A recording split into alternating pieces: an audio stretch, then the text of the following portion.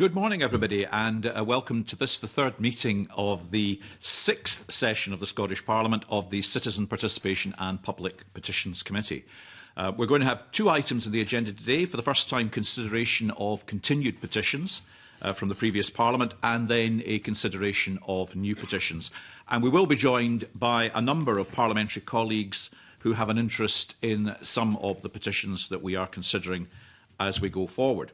So our first item on the agenda is the consideration of uh, continued position, uh, petitions, uh, all of which we have 10, all of which are being carried forward from the last session of Parliament. Firstly, PE uh, 1517, polypropylene mesh medical devices, uh, a petition I've had some engagement with myself. This is the first continued petition today. Uh, it's has been lodged by Elaine Holmes, uh, who I should say is a constituent of mine, and Olive McElroy on behalf of Scottish Mesh survivors. Hear Our Voice campaign. The petition calls on the Scottish Government to suspend the use of polypropylene transvaginal mesh procedures, to initiate a public inquiry and or comprehensive independent research to evaluate the safety of mesh devices using all evidence available, including that from across the world. to introduce mandatory reporting of all, adver all, adverse incidents by health professionals, to set up a trans Scottish transvaginal mesh implant register with view to linking this up with national and international registers, to introduce fully informed consent with uniformity throughout Scotland's health boards, and to write to the MHRA and ask that they reclassify uh, transvaginal mesh as devices to heighten alert status to reflect ongoing concerns worldwide. Our meeting papers outline some of the many actions that uh, the committee has taken since this first petition, this petition was first lodged in April 2014. This includes a report, a chamber debate, as well as several evidence sessions. And in these sessions, the committee has heard directly from witnesses, including, among others, two cabinet secretaries for health, chief medical officers of the day, as well as key figures in the medicines and healthcare products regulatory Agency, uh, Dr. Dionysius Veronicus, a surgeon specializing in pelvic mesh removal in the United States, uh, and so memorably, of course, from the petitioners themselves. Our papers also highlight the recent introduction by the Scottish Government of the Transvaginal Mesh Removal Cost Reimbursement Scotland Bill, uh, part of the government's programme announced yesterday. The bill will allow the Scottish Government to set up a scheme which could reimburse people who have paid private healthcare costs to have their transvaginal mesh implant removed and it could also cover travel costs and hotel accommodation paid in relation to the surgery. In their most recent submission, the petitioners state that they are heartened the Scottish Government's Women's Health Plan for 2021 24 highlights the importance of learning from the mesh crisis. And they do also highlight some questions that they have regarding the treatment women suffering with mesh complications can access. Uh, and with that, I wonder if colleagues would like to come in. David Chorns. Thank you, Convener. Um, this is over seven years now this petition's been running. Session four, um, where I was there at the beginning, session five, I've seen it through, and now in session six. Um, we've taken over 100 um, written submissions, several oral, oral submissions. Um, we've had debates, as you says, in Parliament and lots of questions about this issue.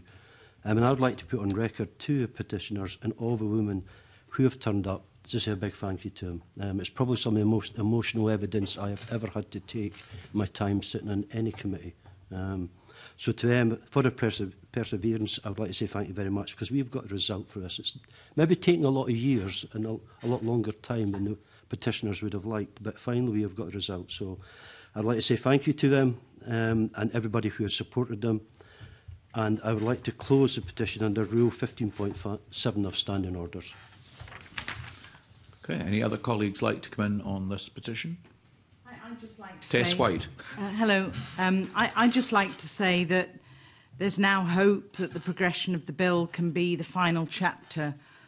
of the horrific trauma and there are still a number of outstanding questions but I'd just also like to pay tribute to your work Jackson on the mesh implants so well, well thank you for that and I'd like to say to many of the women who may be watching this morning, a huge thank you for everything that you've done, really, over seven years, a third of the lifetime of our own Parliament, uh, pursuing this extraordinary health and justice. And to our former colleagues, uh, Alec Neil, Neil Finlay, and also Joanne Lamont, who is the convener of this Petitions Committee, did terrific work in the last Parliament. I think it's been one of the most significant uh, petitions that this Parliament has progressed. It's had implications and ramifications that have been watched and felt in countries across the world.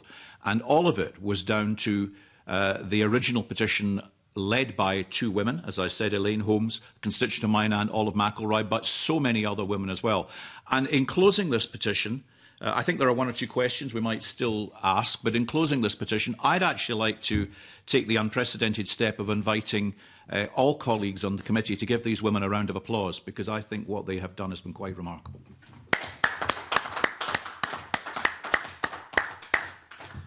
Thank you. And I think we have formally closed that petition. Uh, we're joined by Emma Harper and Eleanor Whittam, MSPs, uh, this morning for our second petition, PE161, the upgrade of the A75 uh, PE 1657, the upgrade of the A77. And we've heard from other colleagues as well, but we'll be coming to them shortly. Uh, this petition um, by Matt Halliday and Donald McCarry, respectively, calls on the Scottish Government to upgrade the A75 Euroroute to dual carriageway for its entirety as soon as possible. And 1657 calls on the Scottish Government to dual the A77 from Ayr Whitlett's roundabout south to the two ferry ports located at Cairnryan, including the point at which the A77 connects with the A75. And as I said a moment ago, we have Emma Harper and uh, Elena Whittam with us this morning as well. During its consideration of the petitions, the Public Petitions Committee took evidence from the Minister for Transport and the Islands in 2017 and received 31 written submissions. Our meeting papers summarise a number of written submissions, including the submission from the then Cabinet Secretary for Transport, Infrastructure and Connectivity, which was raised at the last consideration of the petitions. The written submission detailed investments made into the A77 and the A75, the second strategic Scottish transport uh, review, projects review in the Dumfries and Galloway area, and the parallel study which engaged with stakeholders and considered the rationale for improvements to transport in southwest Scotland. The UK government has already committed £20 million to developing projects identified in Sir Peter Hendy's Union Connectivity Review interim report, including upgrading the A75 between Gretna and Stranraer. In their most recent submission, Donald McHarry, the petitioner for 1657, points to research conducted for the Strategic Transport Projects Review, which highlighted that the current A77 is behind the current required standard. The submission notes that in the week commencing Tuesday, the 24th of August, there were two fatalities and two casualties between the A77 and A714 diversionary route, causing the southwest corner of Scotland to be completely cut off to traffic uh, to the north. The petition is calling for the committee to hold a roundtable in Stranraer, as discussed by the Session 5 committee, in order for members to hear firsthand about issues raised in this petition. Uh, Finlay Carson, MSP, hoped to be able to attend. However, he's currently convening another parliamentary committee, and he therefore sent the following. I have been a long-term advocate for improvements to both the A75 and the A77, and I have given evidence at the committee on numerous occasions stressing the need for action and not further delay. The conveners group met the First Minister on the 13th of November 2019. The First Minister said that she would respond to the petition in writing and that she would use PE 1610 as a case study to describe the process that the government goes through to reach decisions. Despite repeated requests for information from the committee, no response, as far as I'm aware, has been received. Sorry, I'm quoting from Fidley Carson here, uh, uh, submission. And secondly, in the light of current continuous problems, particularly in the A77 at Carlock Wall, I would like the committee to consider a stakeholder meeting as previously suggested. It should include the Cabinet Secretary for Finance and the Cabinet Secretary for Net Zero Energy and Transport and the Transport Minister. Um, that is the introduction, and I think, if I may, I will now come to our two colleagues who might want to uh, add to our deliberations before we consider what steps to take next. And I'm, I'm looking to the two of you, and I, I will go to Emma Harper first. Emma Harper. Thank you, convener, and uh, thank you for um, having us attend today. This is a, a really important petition. Uh, like my colleague uh, Finlay Carson, I have had numerous questions in chamber. We've had three debates in the last five years in the previous session. This has great interest for people in the southwest of Scotland. The A75 and A77 are main arterial routes for uh, connecting us to the European Union, and I absolutely agree that they need to be improved. And so I'm interested today in how we are going to move forward this petition um, because I'm aware of the southwest. West uh, roads review that is feeding into the strategic transport review as well, which is imminently due for release. And I'm keen to see what improvements the government will be committing to. Um, we've also had Michael Matheson, when he was Cabinet Secretary, in Stranraer meeting both members of the A75 and the A77 action groups. And uh, we were able to hear from him early in the when Michael Matheson was made Transport Secretary. But I am aware that uh, some of the challenges that we've been doing freedom of information requests around is safety, collisions, fatalities, and trying to use that kind of argument and evidence for investing in these roads. Um, we know how many lorries are on these roads and um, when ferries arrive and when they depart. So it's really um, I, I guess for me, I'm just really keen to see that whatever the Petitions Committee can do to chivvy along the government to make action um, and uh, make improvements on both roads. So thank, thank you. you for that. May I ask you if you have a view on the eh, um, suggestion made in session five of a roundtable discussion?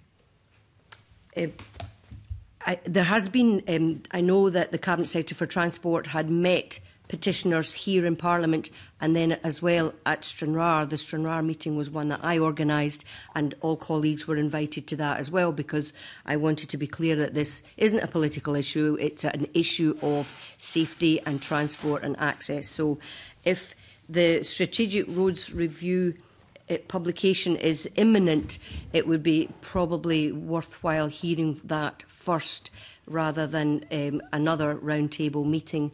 I know how concerned the Transport uh, Minister is right now, and he knows that there is a, a high level of concern from people in the southwest of Scotland. Thank you. Um, and welcome to Eleanor Whittam. By definition, I imagine this is your first engagement with the Public Petitions uh, Committee, but uh, welcome, and uh, I invite you to add your thoughts on the petition. Good morning, everyone, and um, thank you, Convener, for giving me the opportunity to address the committee this morning. As the very new MSP um, for Carrick, Cumnock and Doon Valley, it was very imperative that I speak today in support of the petition's desire to see significant improvements to the A77, as the majority of the single-lane section of this route lies within my constituency boundaries. I travel the route often, and I know firsthand of the frustrations that can be felt when stuck behind a platoon convoy of HGVs, or when scheduled roads um, repairs or serious accidents cause delays and lengthy diversions via rural road infrastructure, which in some cases results in the absolute agony and heartbreak of another fatality being reported And sadly, as the conveners mentioned, in recent weeks we've lost yet more lives on this stretch of road, and I extend my heartfelt condolences to the families involved. I understand also fully that the geography of the stretch south of Ayr is very, very challenging as it is very beautiful. At places, it hugs the coast and offers the most spectacular views, but at times these stretches offer the most frustration too, as driver impatience causes rash decisions, sometimes with serious consequences. Several years ago, I experienced a near crash whilst travelling the route to my caravan with my then five year old son in the car. A driver, frustrated by a slow moving lorry, decided to overtake, and I found myself hurtling head on um, at a, a, a, vehicle at speed.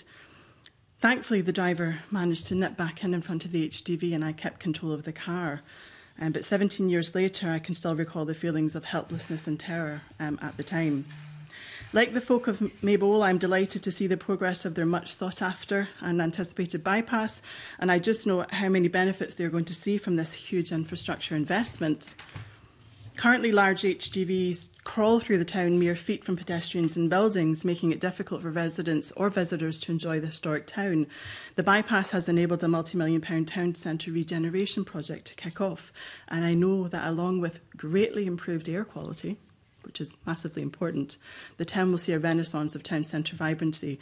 Like so many other small towns and villages from Minishant to Kirkoswald and from Garvin to Ballintray, they also see their daily lives impacted by the high volumes of HD traffic en route to the port of Cairnryan, and it's imperative that improvements are made that mean tourism, trade, commerce are continued unimpeded, but local lives are protected and communities nurtured. I understand fully that we need to await for the publication of the STPR2 recommendations, and it is my hope that we'll, we shall see significant investment in the southwest that is long anticipated and much needed. All options need to be on the table,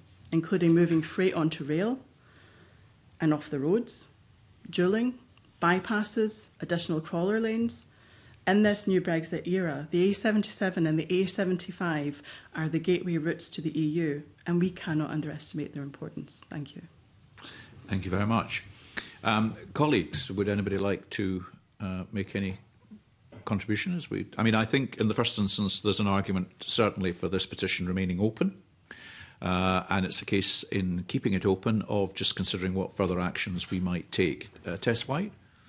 I'd just like to um, say that we've had four MSPs. We've got Emma Harper, Eleanor Whittam, uh, Finley Carson and Sharon Dowie, four MSPs who talk about, as Eleanor said, you, um, sorry, Emma said, safety, transport and access. So, and it, it is disappointing that we've not seen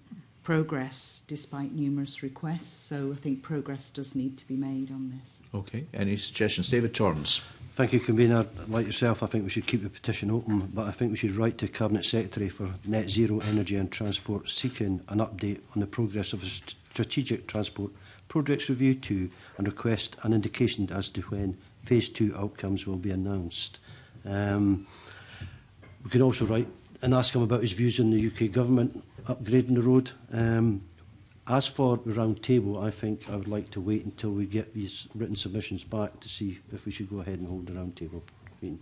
Yeah, was that, I mean, I was struck by Emma Harper's uh, advocacy of um, holding off their own table until we see a little bit more about where things go, but reserve the right uh, still to come back to that. And I think we take forward. I think we're just clear we're writing to the UK government about the A75 um, yeah. uh, route. But are the committee colleagues agreed on that? Paul, Paul Sweeney. Yeah, uh, thank you, Chair. I, I'm generally supportive of the idea of dueling of the national trunk road network for safety reasons. I think they're second, you know, there's a some sometimes it's conflated with um, environmental concerns, but actually the safety implications of dueling on trunk roads is critical. Um, a, a, wider issue that I'd, is, is a, point that um, Elena raised um, about the issue of rail substitution, um, a wider assessment of the condition of being able to move uh, freight from the ports at Cairnryan and Stranraer onto rail uh, is worthy of consideration I also think something that's lacking, certainly in the West Coast, is a, is a port strategy generally. Um, and I think there needs to be a consideration about the utilisation of some of the Firth of Clyde ports further north, such as at um, Greenock, for moving freight onto the motorway network, um, which would help to relieve pressure on the Ayrshire trunk road network. So I think all of these things are considered in isolation. So perhaps it might be worth writing to the relevant ministers to ask for that to be brought into the consideration of the strategy of and STP, STP, T, STPR, sorry, the uh, strategic trans, so strategic transport review. Or, uh, so I think that we really need to look at that in a wider sense because there really isn't a consideration about ports infrastructure in the west of Scotland and how that's managed. Um, it's effectively a free market, um, but that has significant public costs that are not properly accounted for. Okay, thank you. I mean, that, it's probably straying slightly beyond the, the parameters of the petition itself, but I can see the relevance to it, notwithstanding. I'm not sure from, I mean, obviously, we are coming to this as a new committee. It is a continuing petition. I don't know whether these issues were previously explored or whether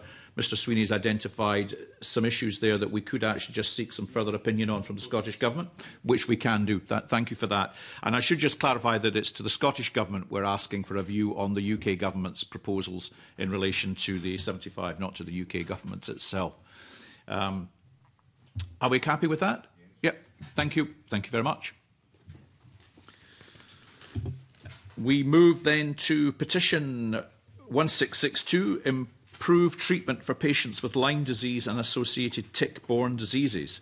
Uh, the next, uh, this was lodged by uh, Janie Kringian and Lorraine Murray on behalf of Tick-Borne Illness Campaign Scotland. And the petition calls on the Scottish Government to improve testing and treatment for Lyme disease and associated tick-borne diseases by ensuring that medical professionals in Scotland are fully equipped to deal with the complexity of tick-borne infections, addressing the lack of reliability of tests, the full variety of species in Scotland, the presence of persista bacteria, which are difficult to eradicate, and the complexities caused by the presence of possibly multiple co-infections, and to complement this with a public awareness campaign. At the last consideration of this petition in February 2021, the Session 5 committee took evidence from the then Minister for Public Health and Sport, Marie Goujon, supported by Scottish Government officials Dr Jill Hawkins, Senior Medical Officer Health Protection and Public Health, and Professor Tom Evans, CMO Speciality Advisor in Infectious Diseases. During the session, the Minister stated that the Scottish Government is committed to supporting people with Lyme disease, finding new and better diagnostic and treatment tools, and trying to prevent it in the first place. It was revealed that the Scottish Government would soon be holding a roundtable event, which would bring together clinicians, patient representatives, and public health experts to discuss testing, treatment, and raising awareness. The Minister confirmed that the Scottish Government is keen to develop an infectious diseases managed clinical network to include Lyme disease in its workstream. The Minister and officials also agreed that more research is needed to underpin the development of better treatment options, particularly for people who are suffering with longer term symptoms.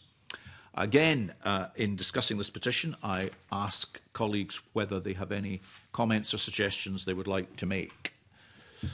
David Torrance. Thank you, Convener. Someday in Session 5 who was there when the evidence was given, I would like to ask the Scottish Government what the outcomes of a roundtable event were um, and where they are in establishing an infectious diseases um, manageable clinical network and what they have done to promote a public campaign about it and the effects of the long term um, of Lyme's disease on people. And um, what they've done to um, look into it, more research for it. Thank you. So, I mean, can I ask, Clarks, do we know did the roundtable event take place? We don't actually know that. So I think we want to confirm if it has taken place and then I think sensibly establish any outcomes from it. Uh, anybody else like to comment on this petition? Test White. I, I would like to support my colleague, um, Mr. Torrance, and say we do need more research on this. Okay, thank you. And that meets with the general agreement of the committee. Mr. Sweeney? Uh, certainly, I've, I've, uh, this has been raised in debates um, and, in uh, other parliaments um, in relation to particularly ME as a potential Lyme disease as a contributory factor to long-term chronic illness, um, which is defined as ME. Um, it might be of interest to understand more about the interactions of research on that, because um, I think that's another condition that people often feel it is not properly taken seriously by the medical profession. Um, so it might be something worth considering as part of this petition. Okay, thank you. I mean, I, we did have a members' debate on this in session five, led by uh, Alexander Burnett um, from memory. Uh, but yes, fine, thank you. Okay, we clear? All right, anybody else, any comment? Thank you. Um, we now move on to PE 1723, essential tremor treatment in Scotland. And we are joined this morning by uh, Rhoda Grant, MSP. Good morning to you. Uh, this is a petition lodged by Mary Ramsey. The petition calls on the Scottish Government to raise awareness of essential tremor and to support the introduction and use of a focus ultrasound scanner for treating people in Scotland who have this condition. The Session 5 Public Petitions Committee last considered this petition at its meeting on the 10th of March 2021. At that meeting, the committee agreed to continue the petition and include it in the legacy paper uh, for our, their, uh, their Session 6 uh, colleagues, successors, us, along with a suggestion to seek an update from the Cabinet Secretary of Health and Sport on the Scottish Government's plans to make an application to the National Specialist Services Committee for an MRG FUS service. Magnetic resonance guided focused ultrasound which actually is easier to say than MRGFUS, is a relatively new treatment for essential tremor, which uses an MRI guide to powerful focus, powerful focus ultrasound to a small point in the body, causing an intense local heat which can destroy tissue.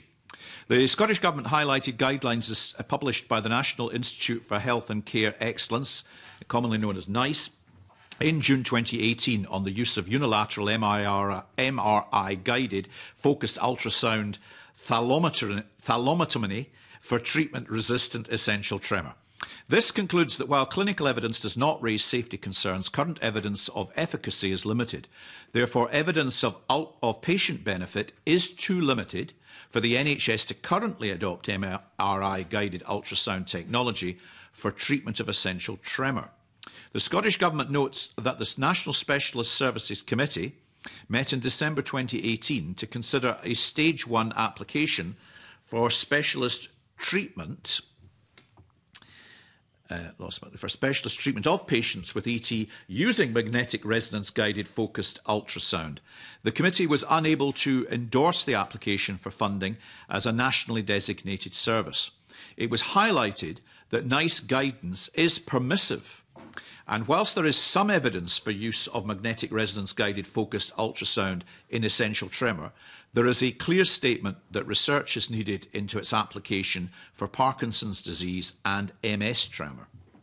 NSSC was clear that should the evidence base be further developed and magnetic resonance guided focused ultrasound be recognised as a safe and effective intervention for treatment of tremor, the committee would be willing to consider a reapplication in future. On the 16th of December 2020, the, this committee took evidence from Professor Dipankar Nandi, consultant neurosurgeon and head of department Charing Cross Hospital and St Mary's Hospital, and Professor Imperial College London. Our meeting paper summarised the evidence from that meeting. And in her submission, the petitioner advised that her tremors and the lack of understanding surrounded them has impacted on her entire life. The petitioner does not believe there is a need for further research and evidence into the effectiveness of magnetic resonance guided focused ultrasound before the Scottish Government backs it,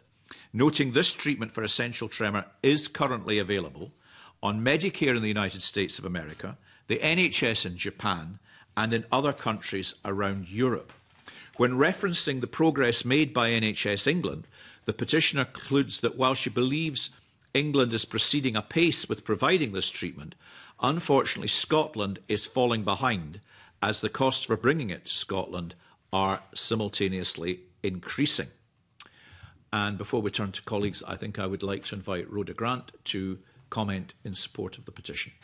Rhoda Grant. Thank, thank you, convener, and thank you for allowing me to speak. Um, this petition was obviously a previous petition to the committee and some of the new members of the committee might not be totally aware. So th there are basically um, two treatments for essential tremor. An essential tremor is very disabling because it means that people shake. So things that we all take for granted, like drinking, eating in public, even speaking, it can affect the way someone speaks. So the people that suffer from it tend to become very isolated, tend not to to mix socially. So it's a very difficult illness to deal with, and they tend also um, to have very late diagnosis. Um, Mary Ramsey, my constituent and the petitioner, um, wasn't diagnosed until her 40s and has had brain surgery to deal with this. Now, the difficulty with um, the brain surgery is it can it does work and it's a proven treatment, but you need to go back and and move those electrodes. So, um, people who have uh, brain surgery for essential tremor have a lifetime of procedures ahead of them, whereas uh, focused ultrasound is non-invasive, so there is no um, there is no brain surgery involved, and it's a one-off treatment. Now, just I suppose. And, and it's life changing for those those involved. It, it absolutely is. Now, it's an approved treatment in um, NHS England fund this, and people from Scotland can be referred to NHS England for treatment, which to me is totally crazy because we have this machine in Dundee and could be treating people here and now in Scotland at a much lower cost. And so it has. The Dund- what was the point about Dundee? I just missed that when the peti this petition started, um, Dundee, um, NHS Tayside, and um, University in Dundee were working together um, to fund and purchase a machine. They have now done that. Um, the, the machine is available and is giving treatment here in Scotland, um, but only experimental treatment, and I say that in inverted commas because the treatment is not experimental, it's been approved elsewhere, but it's, it's under that locus that they can then treat people. A, a, GP or consultant in Scotland cannot always, unless they're talking about experimental treatment, um, refer someone to Dundee. What they have to do is then refer someone to London to Professor Nandi and his colleagues.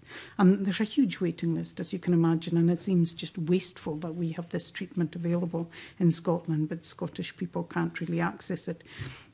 Now, Mary um, was speaking to me recently and she sent me a, a video which I think we'll send on to Clarks and hopefully they can send that round committee members um, of Ian Sharp who's received this treatment And Mary also told me this morning that herself and Sharp would be very willing to come to the Petitions Committee and give evidence of their experience of the two different treatments, and maybe people could, um, committee members could get a better um, idea of that. So I'm urging you not to close this petition. I think we've come a long, long way, and I think the previous petitions committee um, was instrumental in getting this moved up the, the political agenda and probably um, instrumental in getting this, this uh, technology into Scotland. But it's a waste if we can't actually use the technology for the good of patients in Scotland. So I would ask that you you pursue Scottish government on this and uh, try and push that this uh, treatment in Dundee becomes available to people in Scotland. But also urge you to, to hear from Mary and from Ian Sharp, who would give you a first hand view of what this condition means to them and how life changing the treatment can actually be. Thank you. May, may I just uh, ask, uh, in relation to Professor Nandi, uh, is, the, is that the only place in England where the treatment is offered is through Professor Andy in, in London or, or there are other locations in addition? There are two centres in, in London, I understand, um, for the the um, invasive treatment is people in Scotland go to Glasgow or to Newcastle. So I'm not sure if Newcastle is looking to develop this as well, but they are certainly the centre that was used by a lot of Scottish patients for, for the more invasive piece of treatment. Um, so it is, it is London at the moment that people need to go for this treatment. Okay, thank you. That, that, was, um, that was very interesting. A, eh, colleagues, anybody like to comment on this? Bill Kidd. Yeah, um, thank you very much, and thanks to Rhoda Grant for uh, giving us that uh, really essential information. And what I was um, most taken with is the report um, about Dundee being available to actually provide this sort of service, um, but it's not being taken up. And it does seem like a great deal of um, discomfort with people uh, who have tremors and require treatment to have to travel all the way to London. And it also sounds as though it's a waste of money having to do all that when it's available in Dundee. Um, so I think that um, we should be in touch with the Cabinet Secretary for Health and Sport uh, to raise this issue actually and ask why that facility here in Scotland is not being used for Scottish patients. Okay, Tess White. I think the very fact that there are over 4,000 people with essential tremors means that this does need looking at. It's very important for those 4,000 people. Okay, anybody else? No. Um, yeah, I agree with that. Uh, and I, you know, I think we should write to the Cabinet Secretary to find out what stage they're at. Uh, I think we should very specifically draw attention to the fact you know, that the committee has been made aware of the Dundee facility. That may have ar arisen before, but nonetheless, the fact that the facility exists and therefore it's clearly down to the approvals process within the health service as to whether or not this treatment should be offered. And I think the fact that it is offered uh, elsewhere is um, a reasonably compelling uh, testimony in support of that. Um, I think I would like to hear hear the response to that in the first instance, but I certainly don't rule out uh, hearing from the petitioners themselves because I know from um, the petition we started with today, whether it be MESH or petitions on uh, uh, other medical conditions, that that can actually very often give committee members a fairly uh, obviously unique insight into the condition itself, and it be well worth potentially hearing from that. So are we agreed to take that in two stages and keep the petition open? David Torrance. Um, I was just looking at the submissions from the University of Dundee. I wonder if we could get an update from them, because the last time was um, 18th of December 2020 that they gave us an update, and they were hoping to have it all in installation and up and running by then. So I wonder okay. if we could write to them and ask for an update. That seems sensible as well. We could do that. So we'll keep the petition open. We'll write to the Cabinet Secretary. We'll write to the University of Dundee and we'll reserve the right uh, or reserve the option of, rather than the right, reserve the option to bring the petitioners before us, uh, depending on the progress that we subsequently make. We agree? Uh, I'm pleased to say that uh, Rhoda Grant has got a season ticket this morning to uh, to the Petitions Committee and is joining us along with uh, Liam MacArthur, MSP, for petition 1804, a Highlands and Islands Airports Limited's air traffic management strategy. A petition lodged by Alistair McKeegan, John Doig, and Peter Henderson on behalf of the Benbecula Community Council. The petition calls on the Scottish Government to halt Highlands and Islands Airport Limited's air traffic management strategy project to conduct an independent assessment of the decisions and decision making process of the ATMS project. The clerk's note summarises the actions taken on this petition during the previous session, including uh, quite extensive three oral evidence sessions with the petitioners, representatives of Highlands and Islands Air Traffic Management, and then the Cabinet Secretary for Transport, Infrastructure and Connectivity. Since the petition was last considered, we've received four submissions, two from HIAL, one from the Cabinet Secretary and one from the petitioner. And these have all been circulated within our meeting papers. And again, before coming to committee colleagues, I'll turn to our two uh, visiting MSP colleagues. And uh, since he's been waiting for his moment in the sun, I'll invite Liam MacArthur uh, if he'd like to comment to the committee first. Thanks very much, uh, Convener, and thank you for uh, inviting me to participate in these discussions. Uh, can I also put on record um, my gratitude to your predecessor and predecessor committee um, for the work they've done on this? I, I think it was pretty forensic, as you've outlined. They did some fairly detailed work, including uh, a number of oral evidence sessions, and, and I think those were very helpful, not necessarily in getting to the sort of conclusion I was looking for, but certainly exposing, uh, I think, some of the, the fundamental issues uh, involved in this uh, this whole project.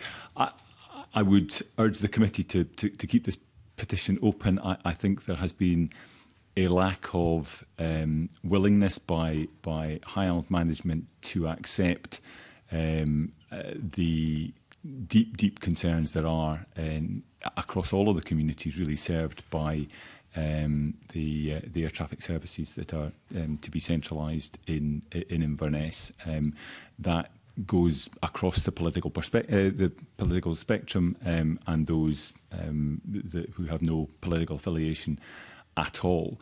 I, I think there's no question that modernisation of air traffic services is needed. Um, that's not contested at all.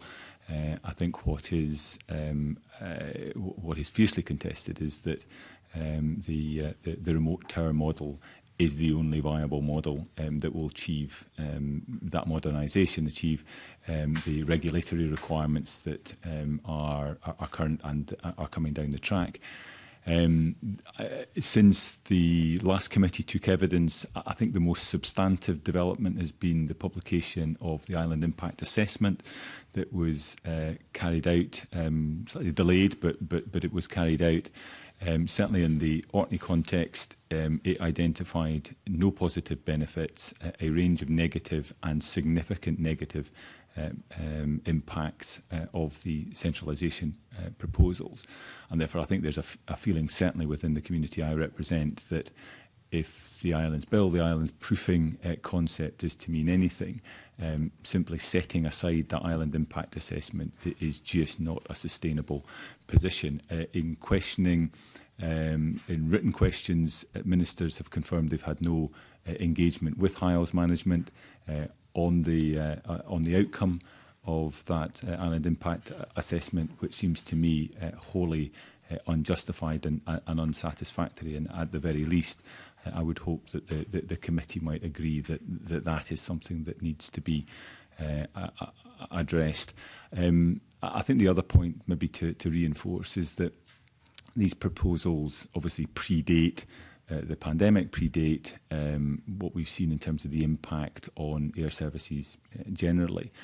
Um, and there is a real concern that the, the commitment of already millions of pounds of public money um, to, the, to, to the rolling out of this programme um, is going to be compounded by further investments before there is a, a, a proper sort of due diligence and audit um, conducted on on this expenditure. And I think we can all draw on examples of of where that process has led to some fairly uh, unpleasant and regrettable outcomes in, in other areas of, of public expenditure. Um, so again, I, I would hope that the committee would agree that that auditory process um, needs to, to, to kick in um, earlier on rather than simply tell us um, that, um, well, you really didn't want to do that some way down the line when the, when, when the money's already uh, been spent and we're, we're well past the point of no return. So Um, I, I, I'm not sure there's much more I can add at, at, at, this stage, but as I say, I think certainly in relation to the island's impact assessment, uh, that has exposed um, many of the, the, concerns that Rhoda uh, and myself and, and um, former colleague Gail Ross were um, articulating at previous meetings and were shared by um, the, the, committee colleagues at, at that stage. Uh, and that's something I think that the, the, the current committee might um, sort of usefully uh, follow up with the, with the Cabinet Secretary and indeed with HIAL.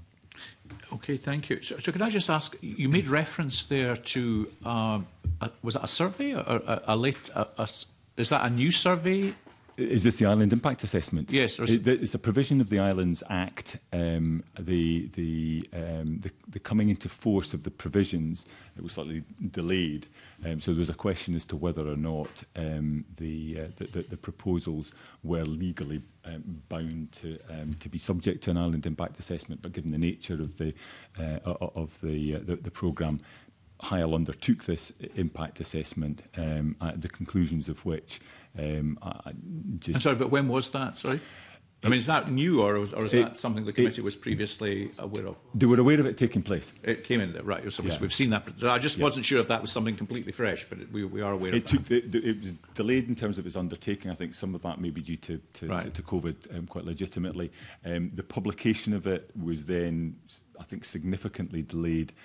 um, beyond when it was handed to, to Hyle's management and, and, and then uh, shared more, more, more publicly. So obviously the, the committee, the predecessor committee didn't have an opportunity, as far as I'm aware, to, to, to, to look at the detail of that in the context of the work that we're doing on this petition. Okay, thank you. I'm, I'm, maybe, maybe update me on that. yeah. Um, and invite Rhoda Grant. Um, th thank you, Convener, and I won't repeat um, what Liam MacArthur has said because I think your time is short. Um, I suppose the petition is about two things. It's about um, the new air traffic management system, but it's also about the downgrading of Wicken Benbecula, and I think members will have seen in the petitioner's response um, some focus on downgrading of Wick and um, Benbecula to Aerodrome Flight Information Service, and that means that they can only take um, booked unscheduled flights now. WIC is in the process of developing a PSO to encourage um, more traffic through the airport. But it's important to note that in the past, WIC has served as a base um, for North Sea oil. So it's very difficult to have booked and scheduled flights, especially helicopter traffic that can only land if booked in an emergency from oil rigs and the like. So I don't think WIC is suitable for um, AFIS. and uh, neither is Ben Becula because Ben Becula is home um, to an MOD range.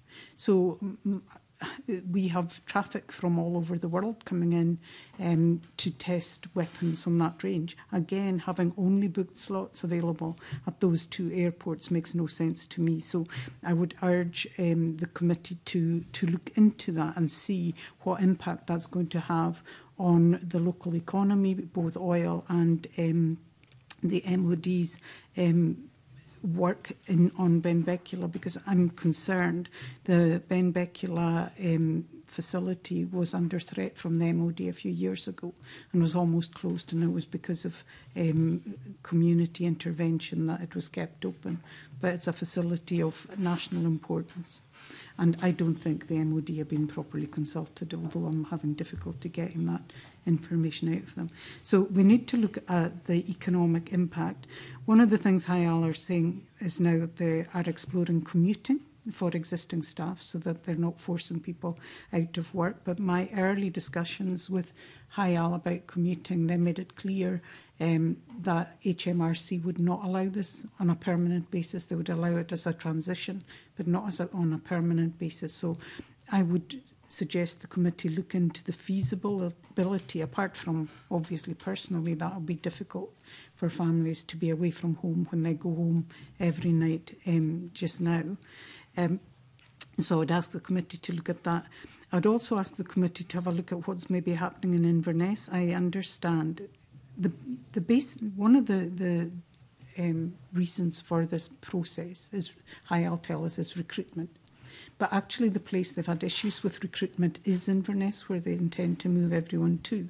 And my understanding is at the moment, Inverness um, is suffering staff shortages to the point that the head of air navigation services is actually doing operational shifts to keep that going. So it seems to me crazy to be moving people to Inverness where that is the most difficult place to recruit the recruitment in the islands. And Hyal were actually really good at this. They recruited local people and trained them up, people who wanted to remain at home. So actually what they had was something that could have been an exemplar for other areas, but because of a problem in one area, they seem to be um, pushing that away. Um, also, Digital Scotland have classed this project as an amber or red risk, and I would urge the committee to make contact with them to find out what their concerns are.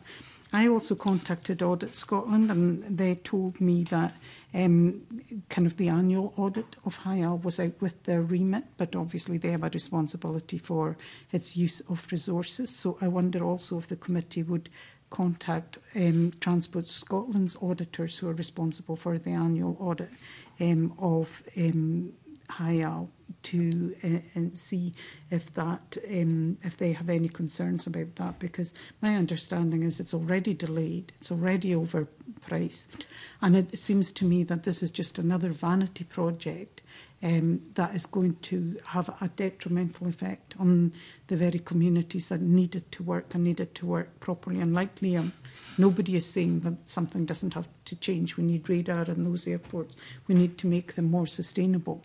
But this is not the way to do it. So I would urge the committee to keep this alive and maybe probe in those areas to see if we can get um, a better understanding of the risks involved. Okay, uh, thank you for that.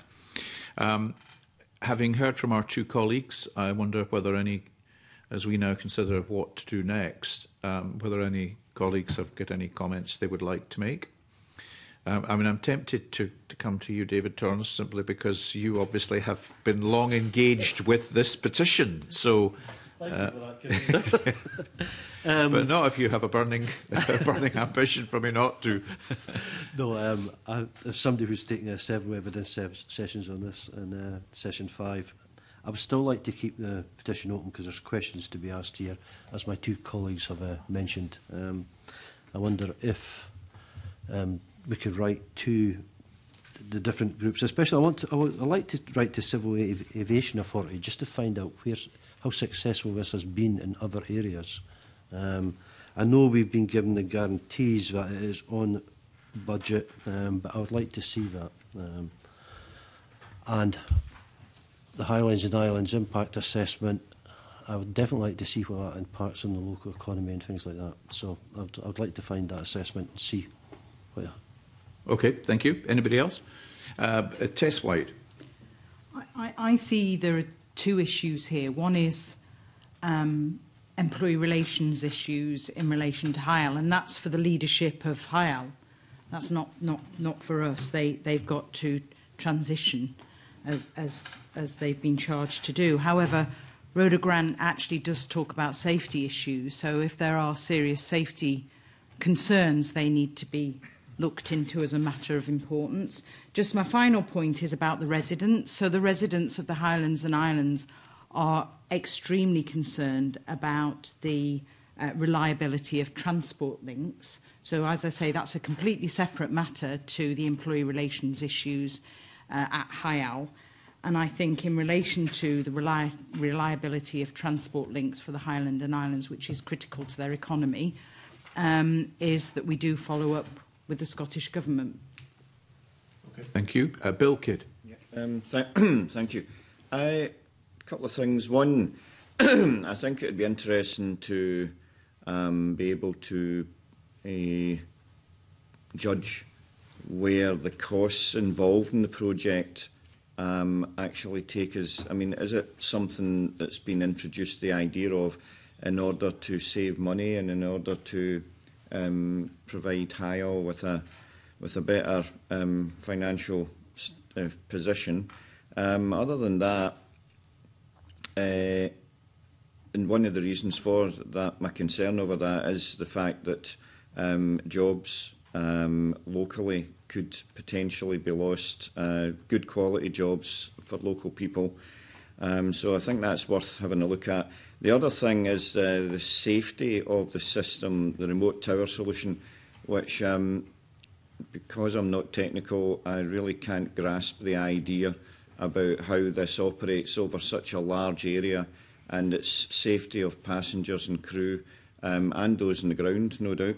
um, who I think um, should be brought forward. I think we need more in information on the safety of the remote tower solution. Okay, thank you. Paul Sweeney.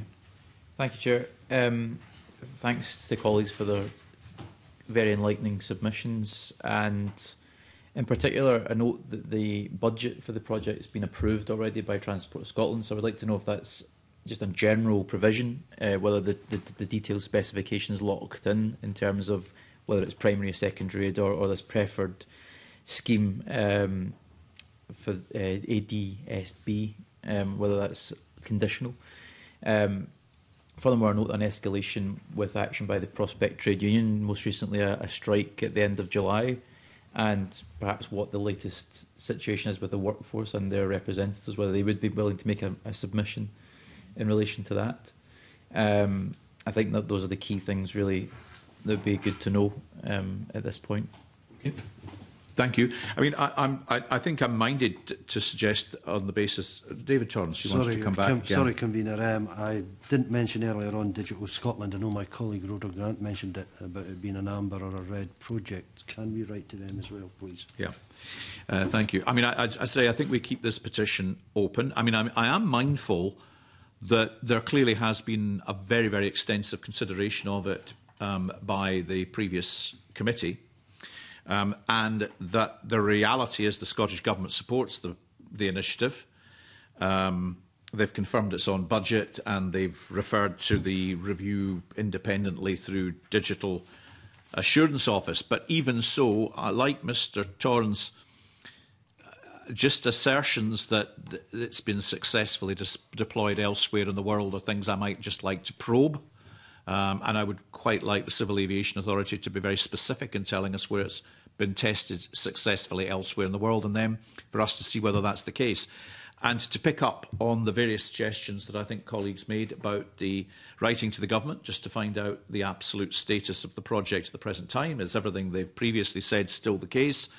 Um, is it still um, being reviewed uh, and found to be on budget and to specification?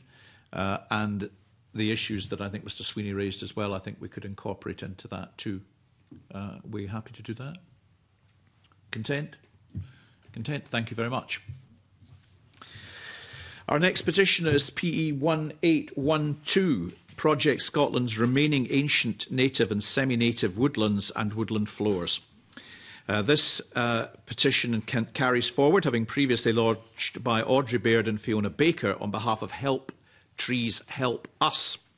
The petition calls on the Scottish Government to deliver world-leading legislation giving Scotland's remaining fragments of ancient native and semi-native woodlands and woodland floors full legal protection before COP26 uh, in Glasgow in November 21. In its submission, the Scottish Government highlights that it is committed to maintaining or exceeding EU environmental standards where appropriate and practical to do so through its environment strategy, vision and outcomes and in legislation through the Continuity Bill. It states that it will bring forward a draft policy statement regarding the use of the discretionary power to align with EU law for consultation early in this parliamentary session. The Scottish Government also intends to produce a new Scottish biodiversity strategy no later than 12 months after the Convention on Biological Diversity's 15th Conference of Parties, COP15, and to increase the area protected for nature in Scotland to at least 30% of land by 2030. In response, the petitioners described the Scottish Government's submission as a catalogue of failure, barely disguised by statements of intention on meaningful action to protect native woodland and stem biodiversity loss in the future.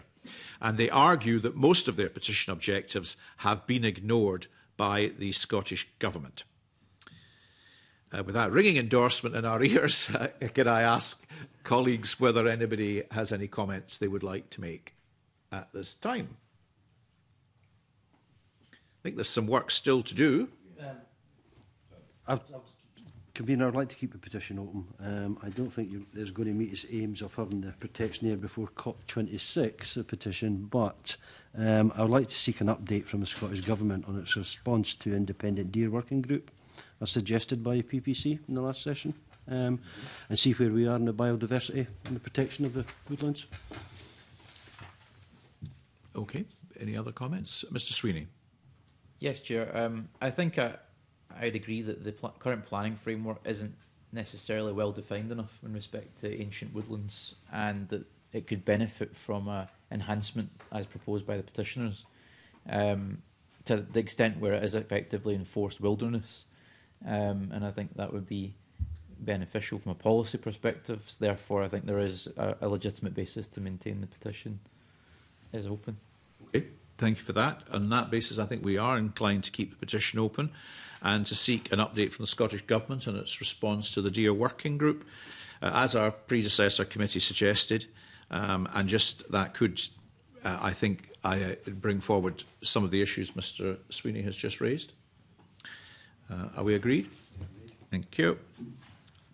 Uh, petition 1837 provide clear direction and investment for autism support. Um, lodged originally by Stephen Layton, uh, the petition calls on the Scottish Government to clarify how autistic people who do not have a learning disability and or mental disorder can access support and allocate investment for autism support teams in every local authority or health and social care partnership in Scotland.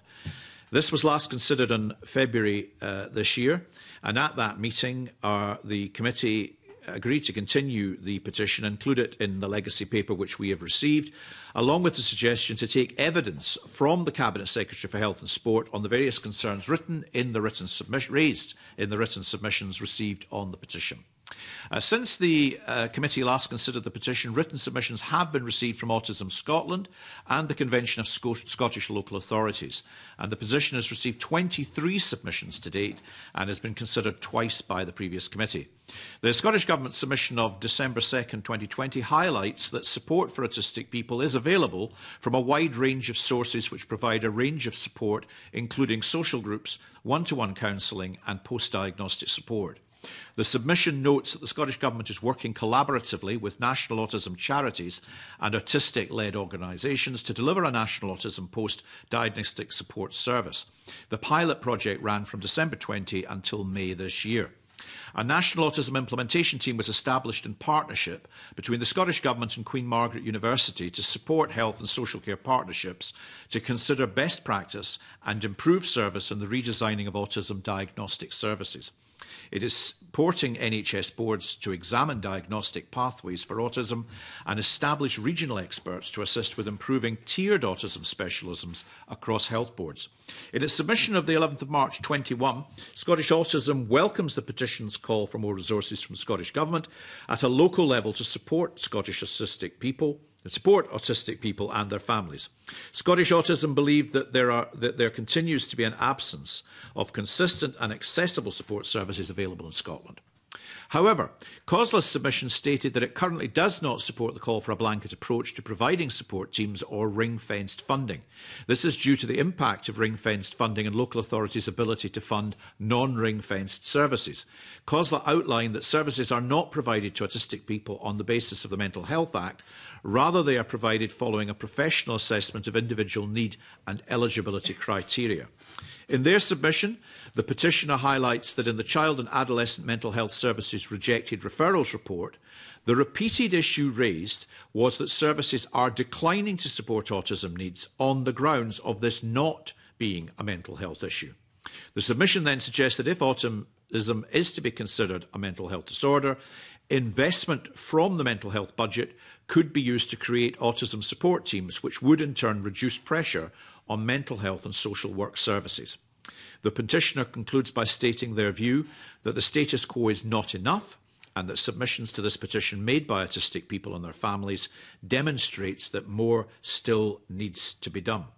Uh, that's quite a comprehensive analysis of where we're at, at and I again wonder what uh, whether colleagues would like to contribute as we consider our next steps.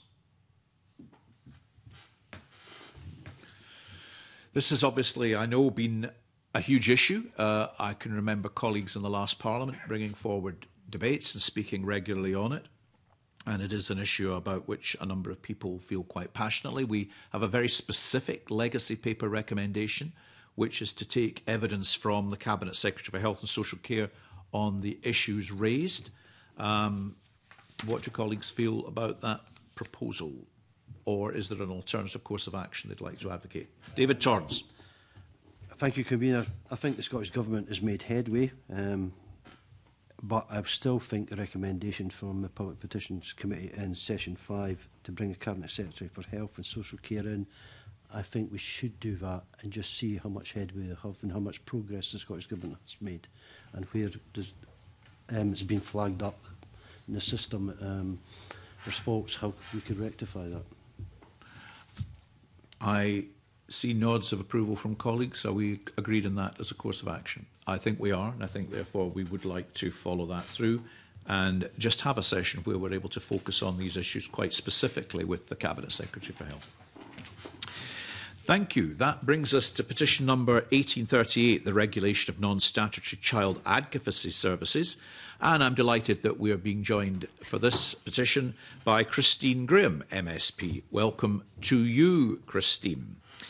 This petition is again a continued petition, continuing petition uh, originally lodged by Martin Baker and Catherine Bailey. And the petition calls on the Scottish Government to ensure that non statutory child advocacy services are properly regulated to ensure competence, transparency and accountability. The Session 5 Petitions Committee last considered this petition at its meeting on 10th of March 21, and at that meeting the committee agreed to continue this petition included in the legacy paper which we have received, along with a suggestion to write to the relevant minister to seek a response on whether the Scottish Government will undertake the work necessary to introduce legislation to regulate non-statutory child advocacy services including its last consideration. The committee has considered this petition twice and has received 14 written submissions. Uh, in her written submission on the 1st of December 2020, the then Minister of Community Safety stated that the regulation of child advocacy services would require a full consultation and primary legislation in which the scope for the and efficacy of regulation may be limited as child advocacy services are not only provided by organisations or persons acting in a professional capacity.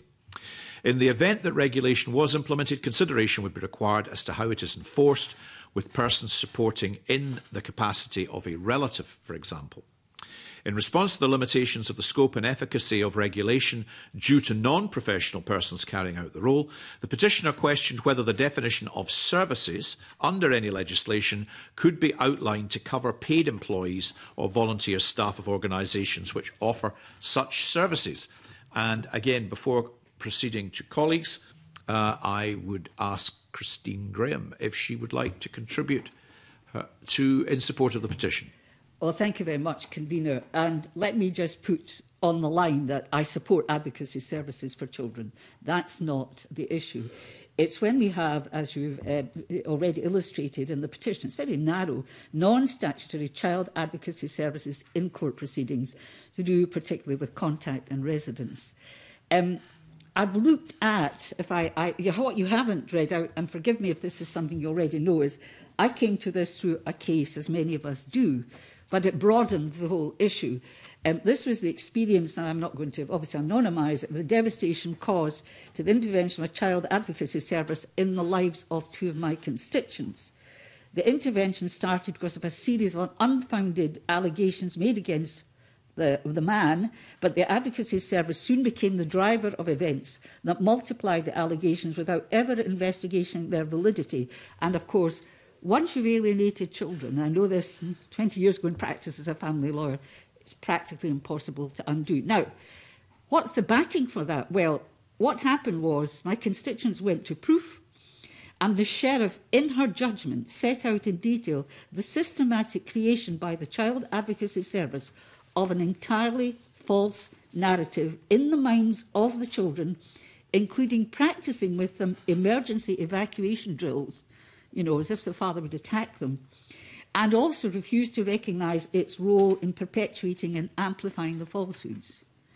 Now, there may not be that many cases, but one case is one case too many. Now, I note what, um, convener, you've said about the cabinet, the, it was the minister, I think, Ash Denham's response to this. I look through what you're doing and I see there's reference to the Children's Hearing Scotland Act 2011 Children's Advocacy Services Regulations 2020, which came into force in November last year. But it only sets out requirements as to qualifications, training, and fees. It does not set out anything requirement to do with regulation. I also note, as you already read out, the um, minister's response in saying it would be it would be difficult. These primary legislation, I don't care about that. If something needs fixed, primary legislation is neither here nor there. But what it says is are not only provided by organisations or persons acting in a professional capacity or quasi professional capacity, we might say. In the event that regulation was implemented, consideration would be required as to how it's enforced with persons supporting the capacity of a relative. Well, relatives are a completely different species. They are not disinterested parties, and neither should they be in any proceedings regarding children with whom they are connected. What we're looking at is non statutory advocacy services, which currently are not regulated. And to get to the stage in court proceedings, after the damage that is done in pleadings and court, and it's all written out, everything, and by the way, the constituents didn't see what had been said and only found out by the way, as it were, at the stage of proof the damage is done.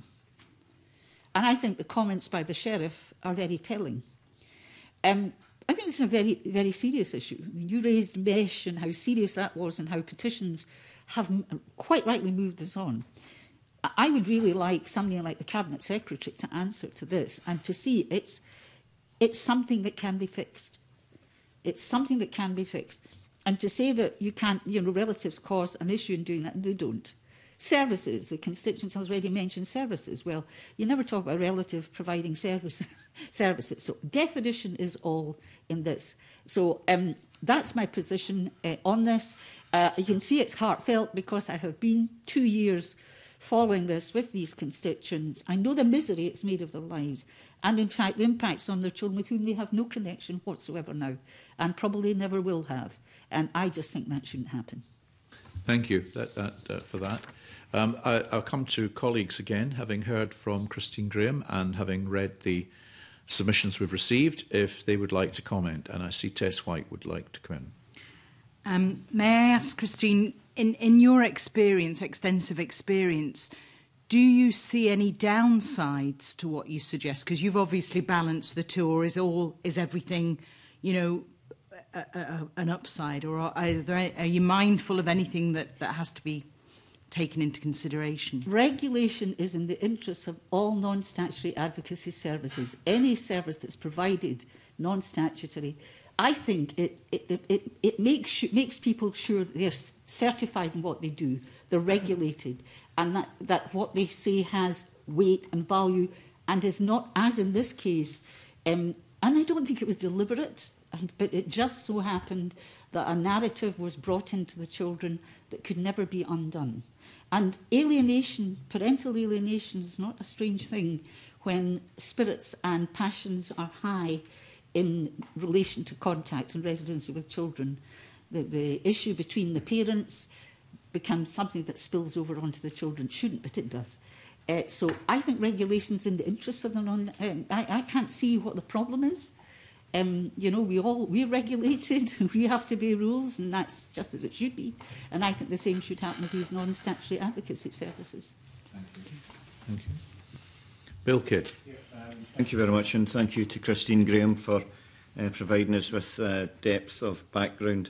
Um, I find it difficult to actually believe, although it's true, um, that there are non-statutory child advocacy child advocacy services. I think that's bizarre, um, and I can't see that any child advocacy service would have any particular logical reason for being against regulation of the services. Okay, thank you. Okay. Uh, I mean, I noticed that, I mean, re referring back to the, the Minister for Community Safety at the time, um, Ash Denham, I think, uh, Christine Graham said, um, it, it would require full consultation and primary legislation. And I take Christine Graham's part. I don't know whether that was meant to be a disincentive to us to pursue the issue or whether that was actually uh, identifying the course of action, because I, I agree if and I think the committee, from what I hear, agree. If primary legislation is what is required because the case is compelling and correct, then that is what would have to follow.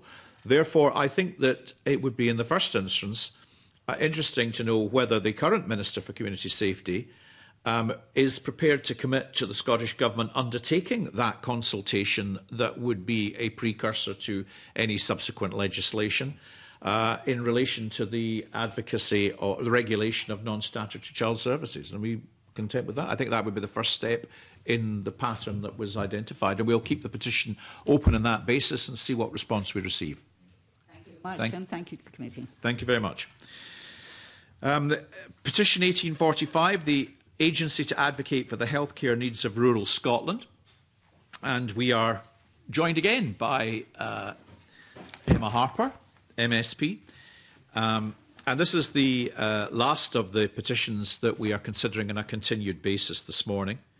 Uh, and, and Rhoda Grant, sorry, is uh, speaking to this one as well. My apologies. Well, well, good. you're both competing with each other this morning to, to, ensure that you're, you're with us for the same number of petitions, but I'm glad to have both. Um, this was originally lodged by Gordon Baird on behalf of the Galloway Community Hospital Action Group, and the petition calls on the Scottish Government to create an agency to ensure that health boards offer fair and reasonable management of rural and remote healthcare issues. Uh, it was first considered in January this year, and the Clerk's note outlines that work that the Session 5 committee carried out so far. Submissions received highlight some of the issues experienced by rural and remote communities as they try to access medical care.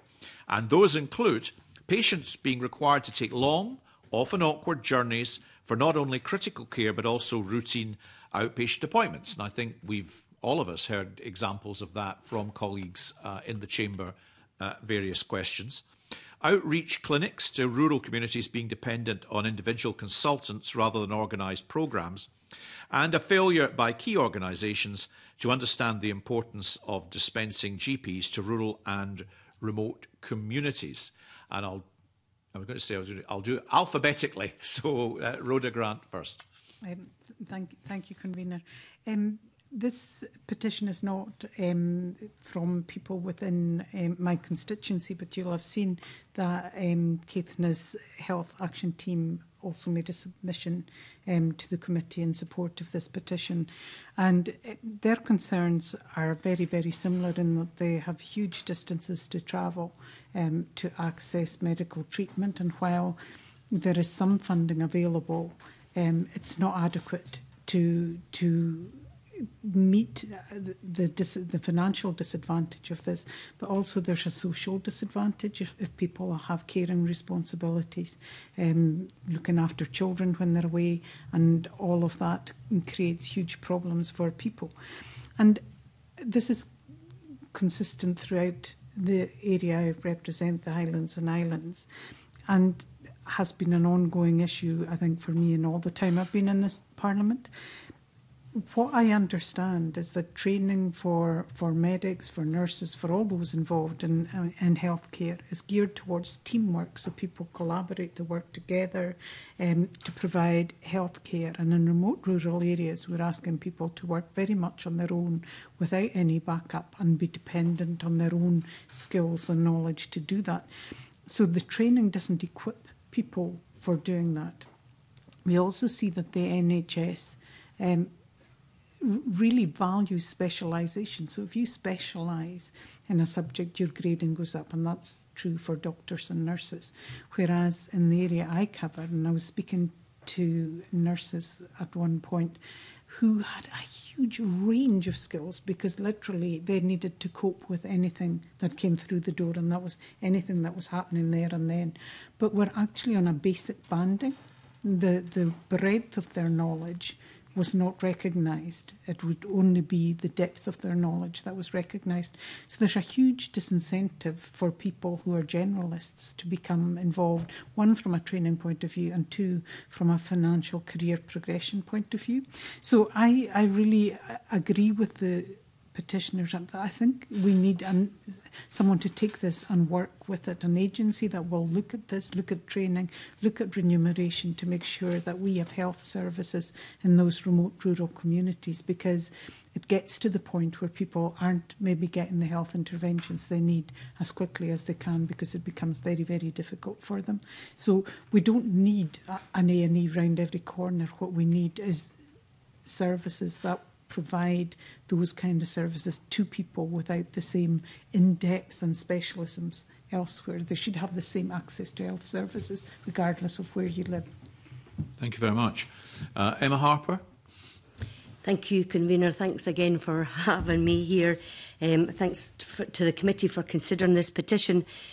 I am aware of this petition. I know Dr. Gordon Baird very well, and he has created this petition on behalf of uh, himself and the Galloway Community Hospital Action Group and another retired GP, um, eh, Dr. Angela Armstrong. Um, the petition calls on the Scottish Parliament to urge the Scottish Government to create an agency to ensure that health boards offer fair and reasonable management of rural and remote healthcare issues. Dumfries and Galloway is part of my South Scotland region and Stranraer is the town where I was born and lived until moving to the Dumfries area when I was 12. I'm very familiar with the rurality of the southwest part of my of, of my constituency, and I often hear from constituents that they feel forgotten, as many people automatically look to places north of the Central Belt and even the islands when providing examples of remote and rural places in Scotland. I have a couple of examples I would like to share, and uh, um, the convener has touched on one already. But uh, the NHS Dumfries and Galloway is part of the South East Scotland Cancer Network. This means that people who live in Wigtonshire and Dumfries, Cannonby, Lockerbie, they are included in cancer pathways and treatment plans mean that they sometimes have to go to Edinburgh for some types of cancer care such as radiotherapy. It's a 266 mile round trip for folk living in Stranraer. Um, my understanding and response from questions raised to the previous Health Secretary about this cancer pathway issue has been that patients in D&G are offered a choice of place to attend as part of their treatment meaning that if the treatment choice was Glasgow, then that would be the place to attend. But nowhere in Dumfries and Galloway is close to Edinburgh by travel time than Glasgow, Beatson, for instance. Um, a second example to highlight regarding fairness is that persons in other health boards, Ayrshire and Arran and Highlands and Islands, are offered travel reimbursement for journeys over 30 miles. This is not the case in D&G and people are means tested for any travel costs to be reimbursed. So these are two examples only. I understand that the Scottish National Party's manifesto proposes a centre of excellence for remote and rural health and social care and I have already had a response from Cabinet Secretary Hamza Youssef regarding the initial progress of this. I welcome the government's introduction of the ScotGem, Scottish Graduate Entry to Medicine programme, that uh, and we passed the St Andrews Bill in the last session of Parliament. Scott Gem does have a focus of increasing the number of graduate doctors with a rural focus. Um, so I would be grateful to the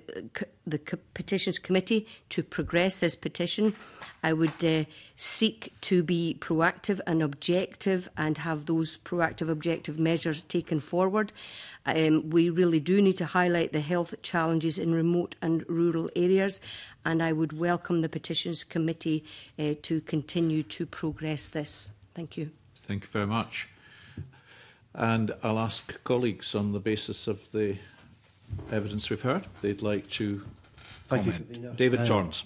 Uh, thank you to my colleagues for giving evidence. Um, I'd like to keep the petition open.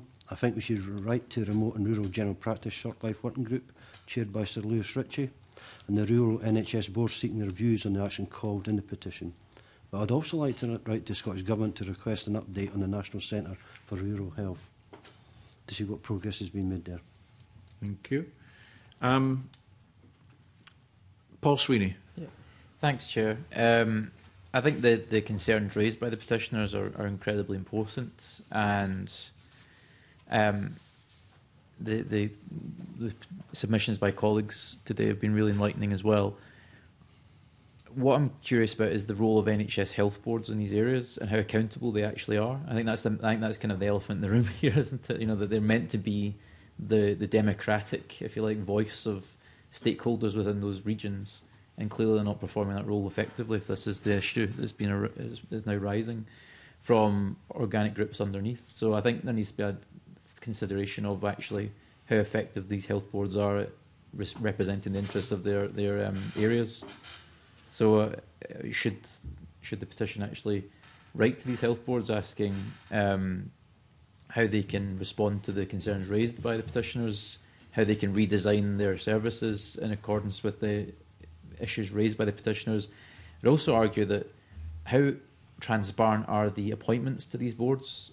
Is there elections to them that are actually well known? You know, should they not be considered as important as local council elections, for example, in terms of actually developing representation?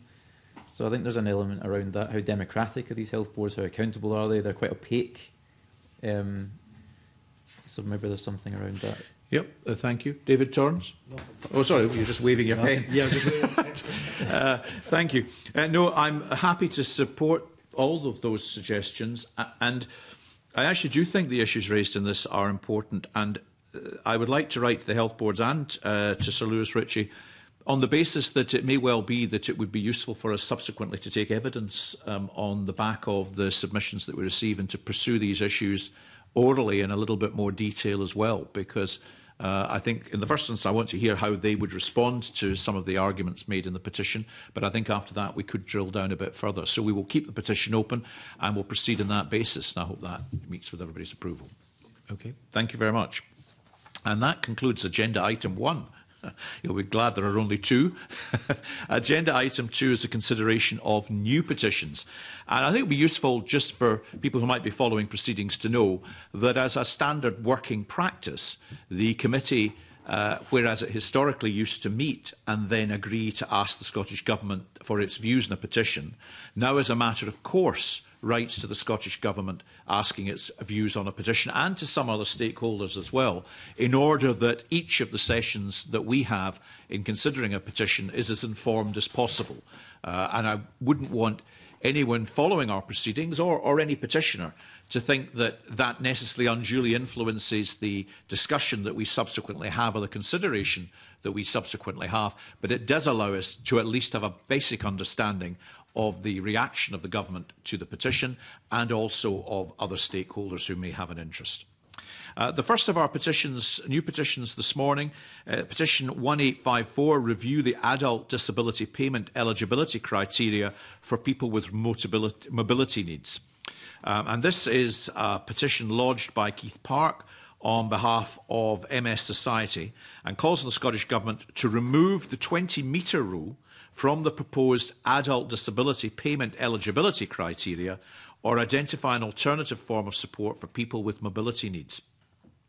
Adult Disability Payment, ADP, is due to replace Personal Independence Payment, PIP, in Scotland from the summer of next year, following a pilot in spring next year.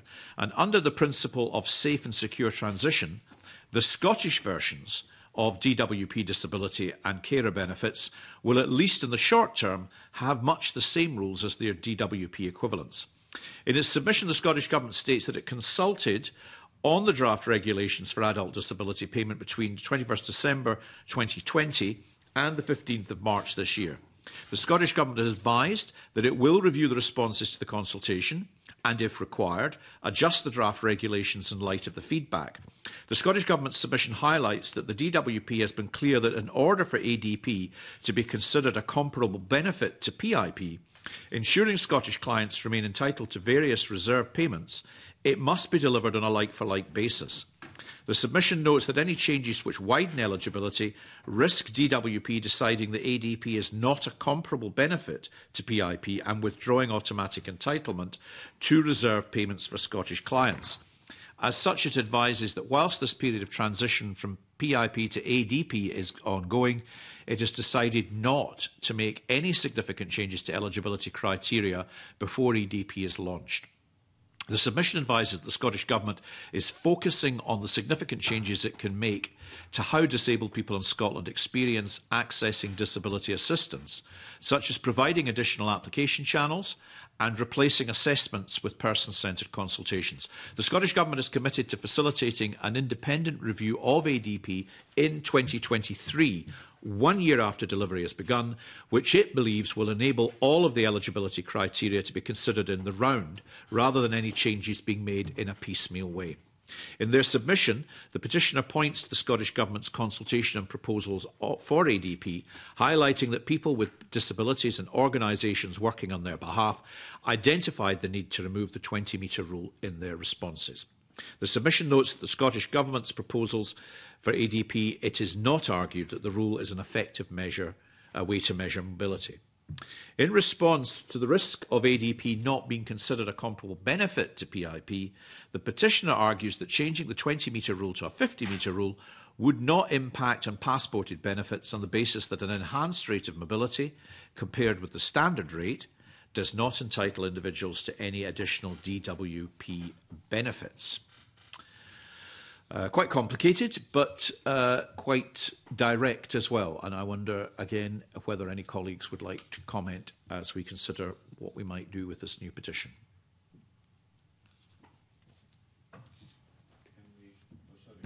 Um, sorry, was it Bill Kidd?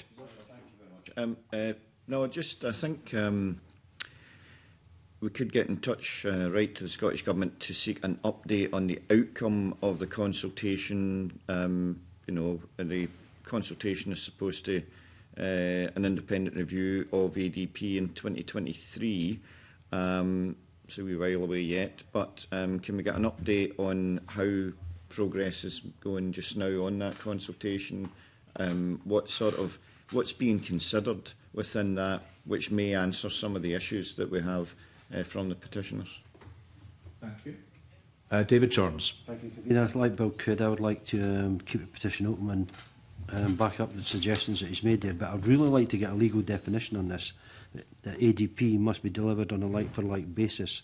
Any changes would widen the eligible risk DBT, DWP, deciding that ADP is not a compatible benefit to PIP and withdrawing automatic entitlement to reserve payments from Scottish clients. I'd really like to get a legal definition. I would like to know if that is definite. Uh, Paul Sweeney. Thank you, Chair. I, I would echo that um, challenge uh, to the DWP um, on this matter of like-for-like basis. And I think it's also important we test the provisions within the 2016 Scotland Act about where competence lies for devolved benefits and topping up or enhancing existing benefits. I think this is quite an important issue we need to really interrogate, and I think the Parliament merits it should have a duty to explore that thoroughly. Um, I think there's a risk that there's been a um, well, it's been a risk averse approach by the civil service in trying to design this benefit that could end up causing significant harm to people in Scotland that we're trying to to assist. Fundamentally, I mean, my personal view is that the, the entire system of arbitrary tick box exercises for assessing eligibility is absurd and it has no basis in any clinical evidence whatsoever. Um, it's actually quite a bigoted policy against disabled people. Um, so I think um, from that point of view, from designing it from a policy perspective, moving away from it would be would be um, advantageous from my perspective. But also, I think having this kind of idea that, that we have to default to it um, in the Scottish Parliament is not is not reasonable, um, and I think we need to really test that issue. I think there's an assumption there that perhaps is having a chilling effect and this, this petition is therefore a valid way of actually using that to interrogate the provisions and actually has a wider constitutional element to it where it's actually saying, well, where does the threshold of the 2016 powers eh, actually sit and, and what discretion is there? And I think it's important. We shouldn't really treat people who are probably suffering in quite significant uh, hardship um, to wait 2023 for some sort of um, sort of risk averse approach where we introduce it on a light flight basis and then it's then tested thereafter. I think we need to move more urgently on this. Thank you. Um, we can write to the DWP, can we? Yeah. I mean, at the moment, it's the Scottish Government asserting, asserting that the DWP has taken a position. We, we, we don't actually know if that's the case. We don't know whether the DWP would regard a change from 20 metres to 50 metres as violating a like for like basis significantly such. I, I simply see from the submissions that the Scottish Government suggests that might be the case. Um, I actually think it would be worth testing that uh, because I, I mean the petitioner, I think, um, notes that it you know it doesn't lead to any enhanced level of benefit as such. It just makes the access to the benefit uh, slightly easier for the people who it's seeking to try and assist. So I think we should clarify that point at least in addition to the suggestion that came forward. Um, And I think we we, we maybe see in response to those representations receive where that takes us and then maybe pursue the, the discussion after that. Does that seem reasonable?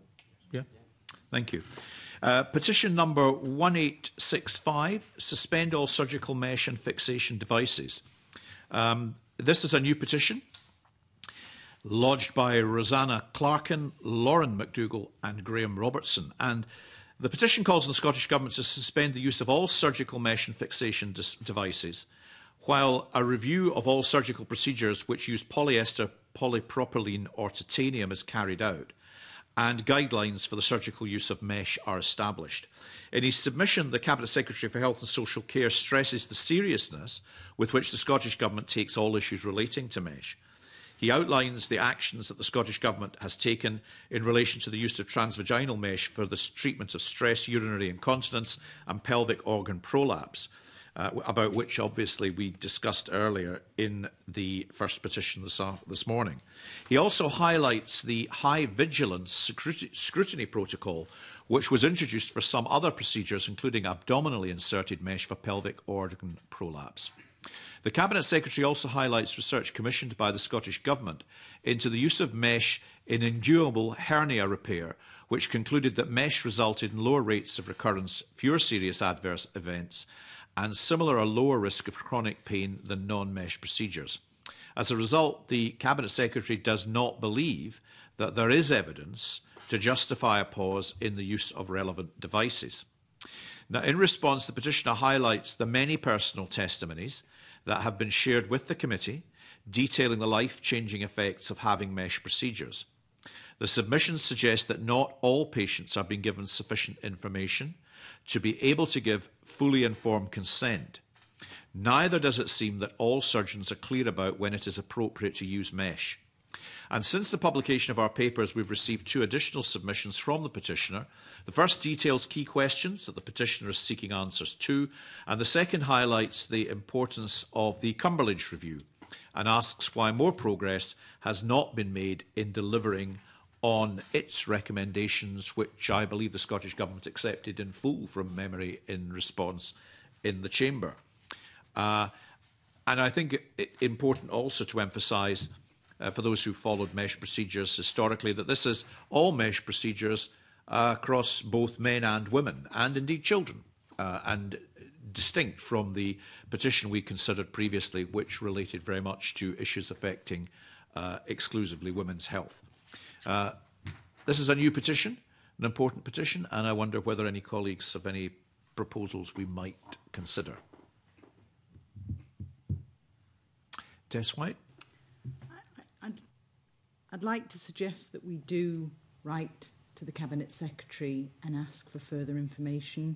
When I read this petition, I, I, I, I empathise and I sympathise, and it's, um, it's uh, very upsetting to see what some people are having to go through. Okay.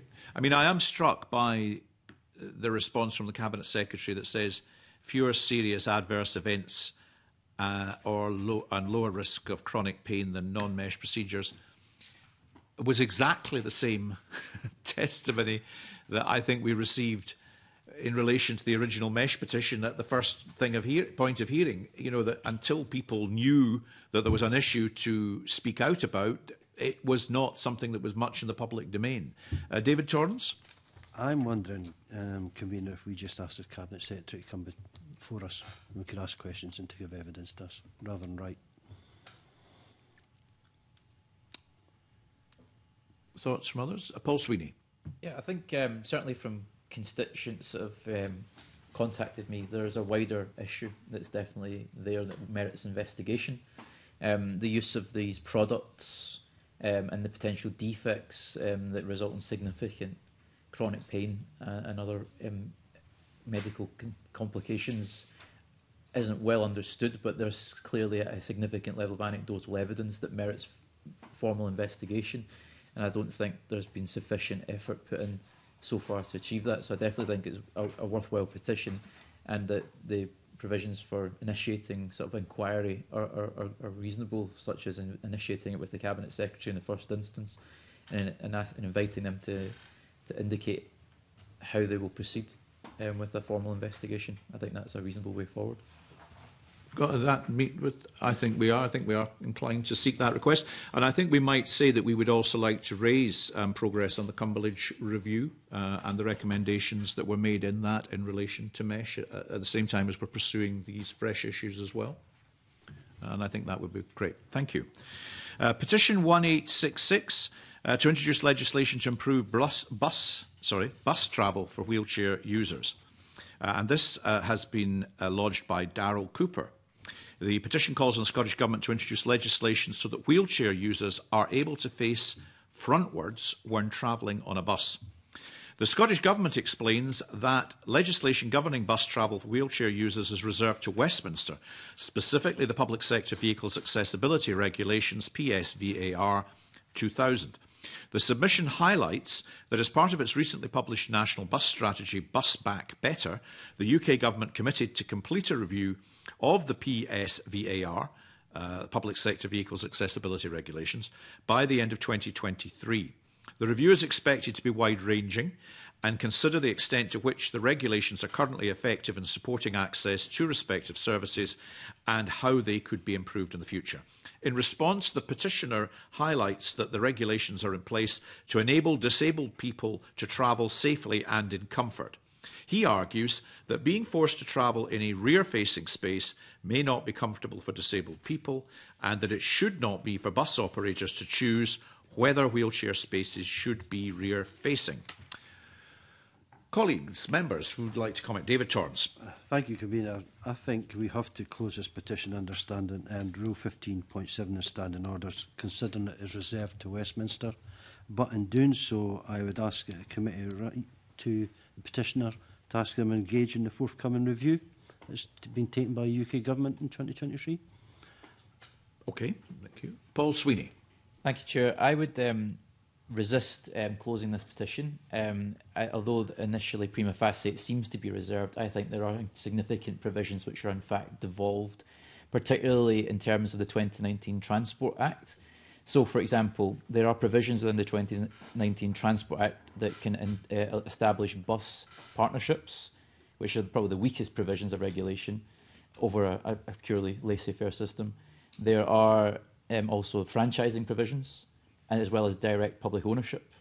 Um, so I think within that context, there is significant regulatory capacity within the Scottish Government when defining, for example, a bus franchise to insist that certain provisions of service standards are achieved that don't aren't dependent necessarily on legislation. They're simply de- dependent on how well designed a franchise agreement is.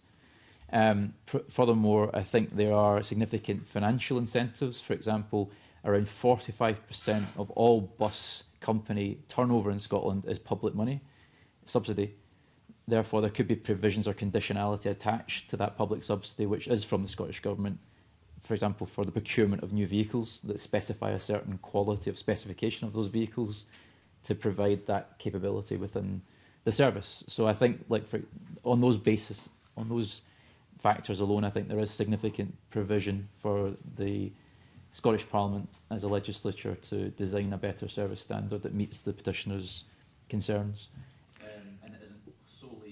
relating to reserve powers. Furthermore, I think there is capacity within this, this petition committee to engage with the Scottish office and to ask what efforts they might be able to make in mending legislation uh, at, Westminster that might help back that up. So I think there is a, a significant breadth of, breadth of opportunity for us to pursue this.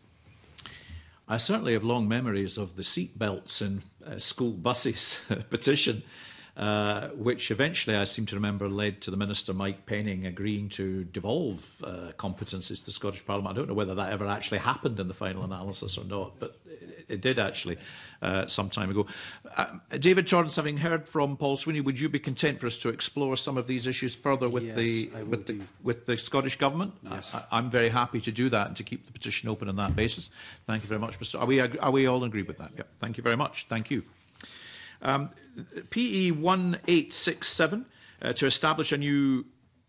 national qualification for British Sign Language. The, uh, this is a new petition and it's been lodged by Scott Macmillan. And the petition calls on the Scottish Government to encourage the Scottish Qualifications Authority, who I will refer to as the SQA, to establish a national qualification in British Sign Language, which I will refer to as BSL, um, at Scottish uh, SQCQF Level 2.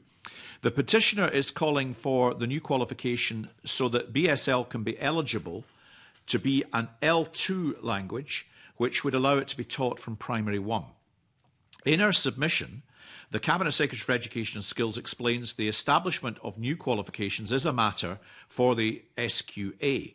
She highlights, however, that children must be able to study an L2 language at secondary school to the level of a national qualification.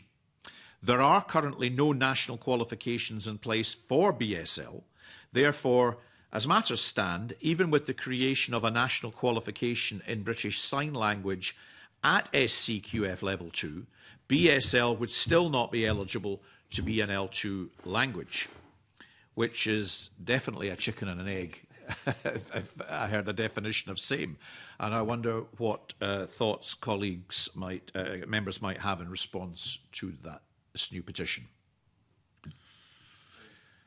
Bill Kidd. Thank you. Um, thank you, Convener. Can we write to the SQA to invite their comments on the proposal? Um, personally, uh, I think that the significant numbers of um, my constituents and everyone's um, who do use BSL um, on a regular basis, including people who They use it as part of their occupation, um, some of whom are signers. Um, I think they deserve the opportunity uh, to be recognised in this manner.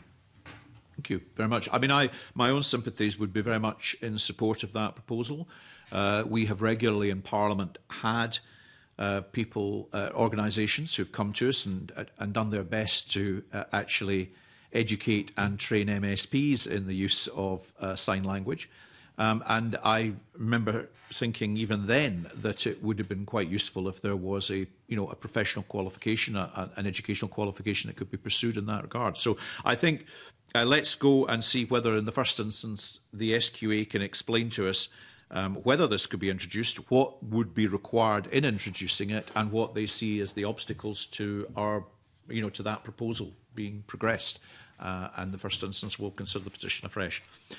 And that brings us to our final new petition this morning, uh, which is petition number 1868, support for single working single parents, uh, lodged by Laura McCain. Uh, the petition calls on the Scottish Government to provide support to single parents by increasing the council tax discount available to single parents from 25% to 50%, and lobbying the UK Government to create a working single parent tax allowance and a household income based child benefit. In its submission, the Scottish Government highlights its commitment to reforming council tax. It also highlights measures that it has in place to support low income households, including council tax reduction scheme, which provides relief to just under half a million low income households. The Scottish Child Payment, which pays £40 per week per eligible child. The Scottish Government has also committed to extending the eligibility to under 16s by the end of 2022. The Scottish Government argues that this payment, alongside the Best Start grant and Best Start Foods, could provide over £5,300 of financial support to, fam to families by the time their first child turns six years of age. And I wonder, having had a chance to consider the submissions, uh, what suggestions Eh, uh, members might have as to how we would proceed.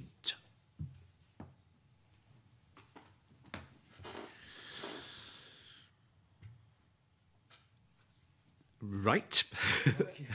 I mean, it's quite complicated because the, there appears to be, uh, uh, you know, quite a, a determined uh, course of action in place by the Scottish government at the present time. They have committed to extending eligibility Uh, they obviously don't have the competence to intervene in re matters relating to uh, UK income tax um, unless and if they are beyond the responsibility of the Scottish Parliament. And they've indicated that they are supporting half a million uh, low income households. Uh, so important as the issue is, I'm not immediately clear what further course of action lies open to us, having now sought and obtained the views of the Scottish Government. Uh, and I, uh, I don't know if other colleagues are minded to close the petition on that basis, um, or whether you feel there's some further avenue we could possibly explore. Convener, David Torrance. Thank you, Convener. I would agree with you. I think it's very difficult to explore any other avenue. So, um, under Rule 15.7 of Standing Orders, I'm happy to close the petition. I, I don't think we do it with any no. great pleasure. No, but, I, I, mean, I think our options are limited, and if the committee is agreed, then I think that's the course of action we follow. Um, thank you all very much for your contributions this morning. Thank you to our colleagues who joined us, and um, I now close the meeting. Thank you.